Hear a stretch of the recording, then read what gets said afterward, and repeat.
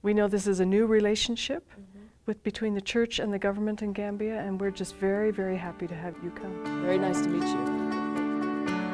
The First Lady of the Republic of the Gambia made a historic trip to Utah in mid August, which included meetings with the First Presidency and other senior leaders of the Church of Jesus Christ of Latter day Saints. Now, it's a, a Muslim uh, country. It's uh, one where religious freedom flourishes and very open. So we talked a little about that and gratitude for their tradition of religious freedom. The First Lady was invited to church headquarters in Salt Lake City by Elder Christofferson following his journey to the West African country in February. It's a good pleasure.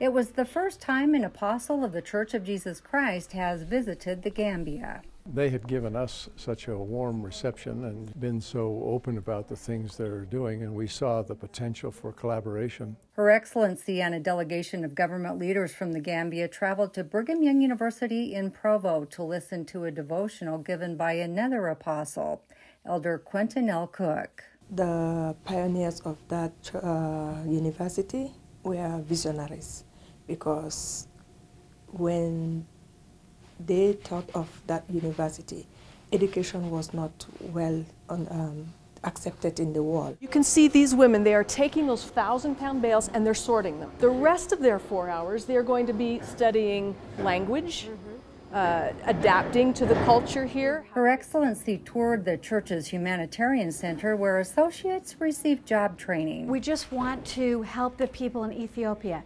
And during that weekend, the church raised $11 million. And Welfare Square, where she learned about the church's global efforts to help those in need. We can benefit a lot from each other because going to the dairy, seeing what is happening there, and we learned a lot and would go and replicate few things that we have seen there. Elder Christofferson said the church has sponsored humanitarian projects in the Gambia in recent years. Our monetary support uh, for clean water, for emergency assistance, disaster assistance, and uh, medical resources and care is about 1.7 million. Members of the general presidencies of the Relief Society, Young Women, and primary organizations also hosted the delegation during their visit. The Church of Jesus Christ received official status in the Gambia earlier this year, and the church's first branch was established in the country in June. I think the government is pleased to see that uh, the kind of people we are can make a, have an influence for good in their nation, along with the things, the resources church can provide in uh, some of their priorities and undertakings. You are one people. Everyone is smiling and you show love and you already accepted us as family. And that's what we believe in the Gambia too. We believe in family.